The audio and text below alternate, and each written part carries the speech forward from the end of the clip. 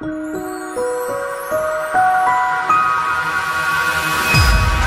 you like to know more?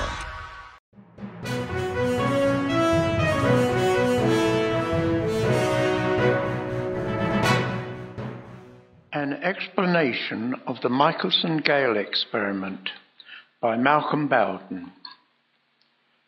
In 1925, Michelson and Gale set up an experiment to see if they could detect the rotation of the Earth on its regular one revolution per day. They set up a very large rectangle of 12 inch diameter tubes in a field with a light source and mirrors at the corners.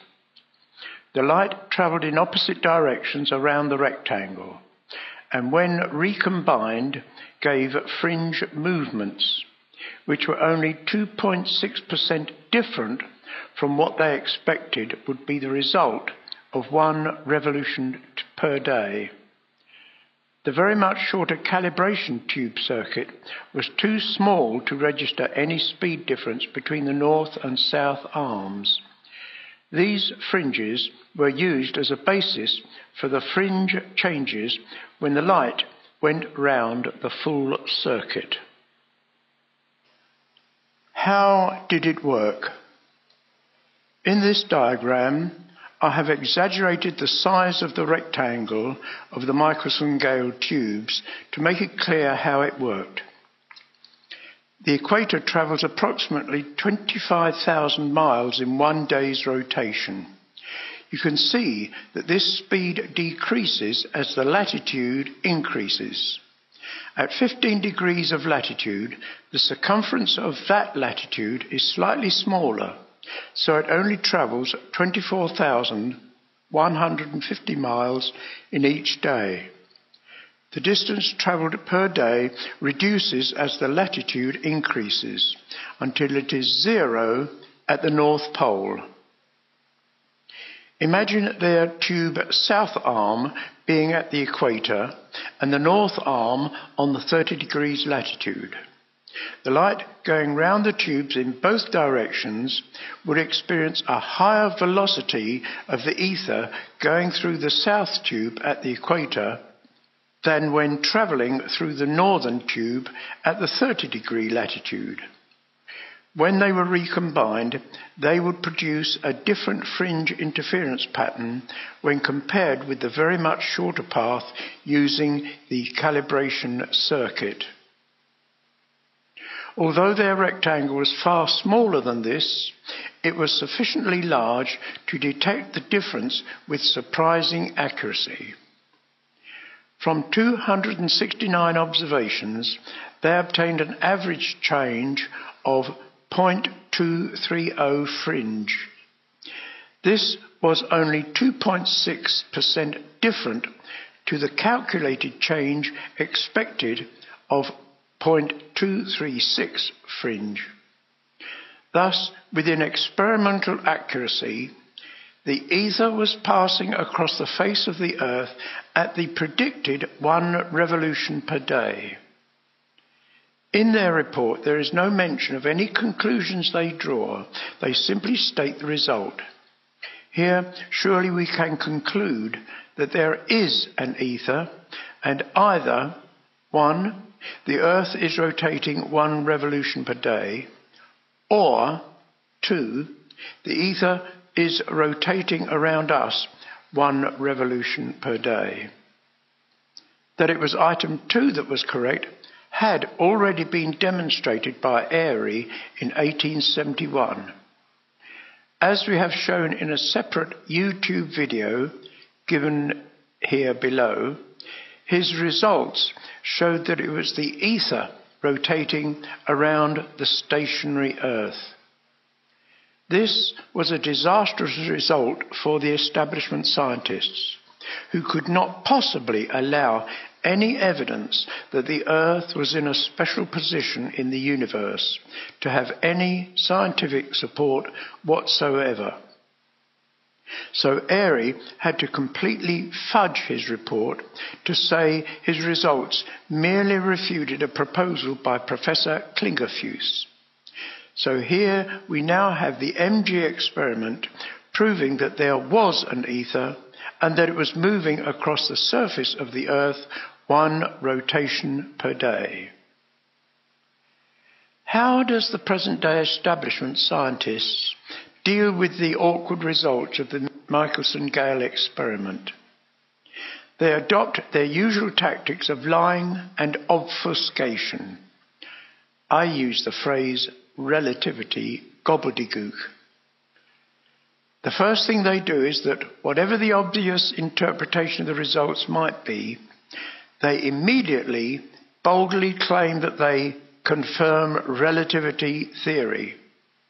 They then proceed to muddy the waters by speaking about inertial frames of reference and entering into complex explanations of how the experiment fully confirms relativity.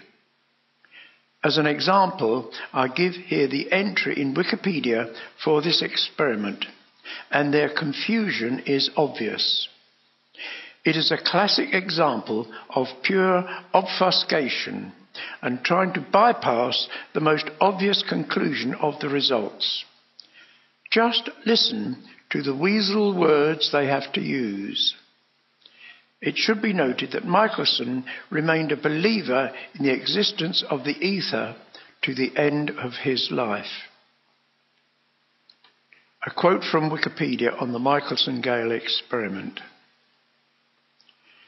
As it was already pointed out by Michelson in 1904, a positive result in such experiments contradicts the hypothesis of complete ether drag. On the other hand, the stationary ether concept is in agreement with this result, yet it contradicts, with the exception of Lorentz's ether, the Michelson-Morley experiment. Thus, special relativity is the only theory which explains both experiments. Emphasis MB. Does it really? Here is the bold claim. They do not bother to provide any explanation or evidence whatsoever. The experiment is consistent with relativity for the same reason as all other Sagnac type experiments. See Sagnac effect. That is, rotation is absolute in special relativity because there is no inertial frame of reference in which the whole device is at rest during the complete process of rotation.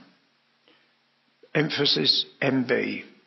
This is pure relativity gobbledygook used to wriggle out of clear evidence. Thus, the light paths of the two rays are different in all of those frames. Consequently, a positive result must occur.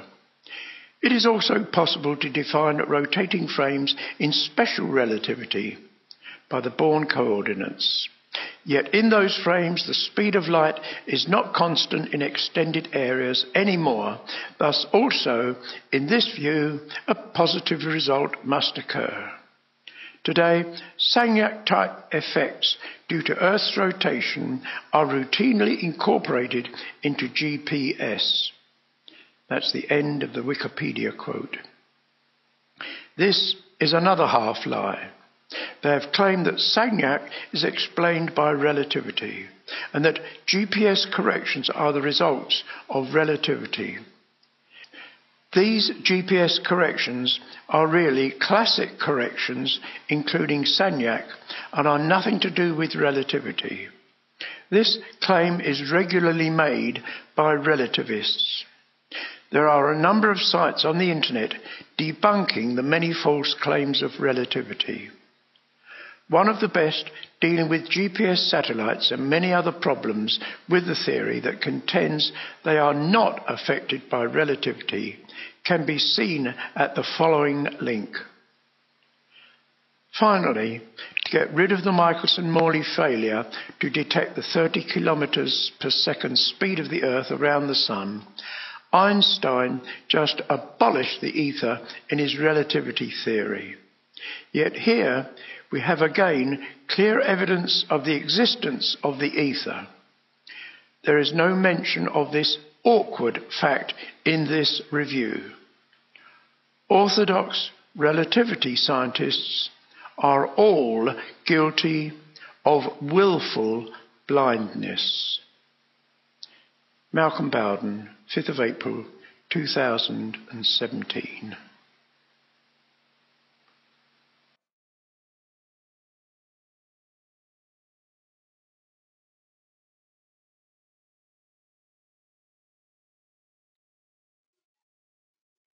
If a telescope is pointing at a star and both are stationary, then obviously the light comes straight into the telescope. In 1729, Bradley found that he had to tip his telescope forward very slightly to get a star in the center of his telescope. It was assumed that this was due to the motion of the Earth around the Sun. Let us assume that the telescope was moving at five mile an hour and had to be tipped five degrees.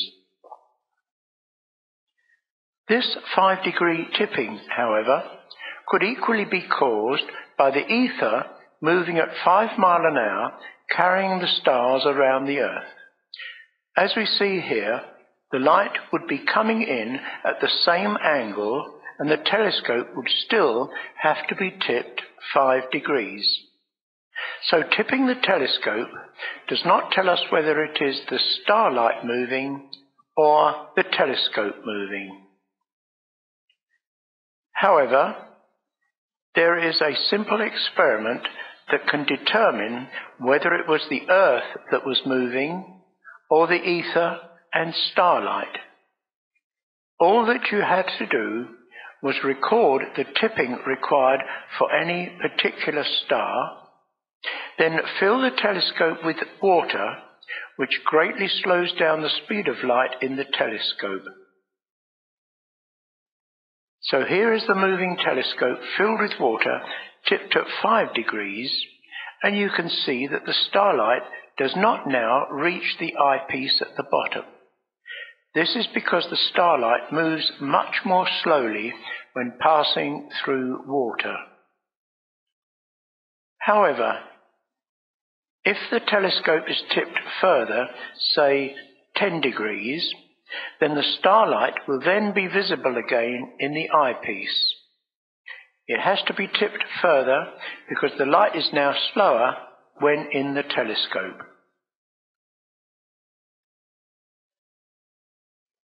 But if the starlight is going past the telescope at five mile an hour, then when it is filled with water, no further tipping is needed because the light is coming in at five degrees anyway. The starlight stays on the same path but is only travelling slower in the water. To recap, if it is the telescope that is moving, then when it is filled with water, it has to be tipped further to see the star.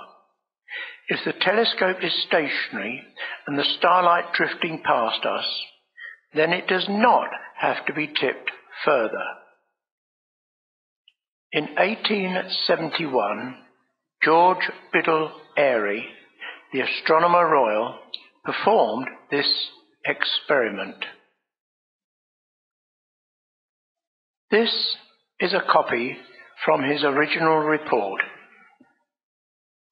You can see that the two readings are virtually identical. If it had been the telescope that was moving, Airy expected a figure of 30 seconds of arc. In fact, he only managed to read 0.8 seconds of arc difference. Bradley first discovered stellar aberration, and it is interesting that in his report, Airy mentions that it was now about 100 seconds of arc and that it was still slowly diminishing. This indicates that the speed of light was still decreasing in measurable amounts when Airy performed his experiment in 1871. The result of Airy's experiment, known as Airy's failure, was that the telescope does not have to be tipped further. This proved that it was the incoming light that was moving past a stationary telescope fixed to the stationary Earth. What is interesting in his very brief report of only four pages is that not once did he refer to the astonishing results that the experiment proved that the Earth was stationary. This experiment was also dismissed by Wikipedia, which said, Ether drag test, under the main article, Luminiferous Ether. By means of a water-filled telescope, Airy in 1871 looked for a change in stellar aberration through the refracting water due to an ether drag. Like in all other ether drift experiments, he obtained a negative result. This is a gross distortion of the truth. That he did not have to change the angle proved that it was the ether drifting past the stationary surface of the earth. This experiment is never taught to university science students. They might begin to question what they were being taught about the cosmos, the universe, the Big Bang, evolution, and much else. If it was realized that the earth really is at the center of the universe, which is rotating around us, as the Bible always clearly states. thank you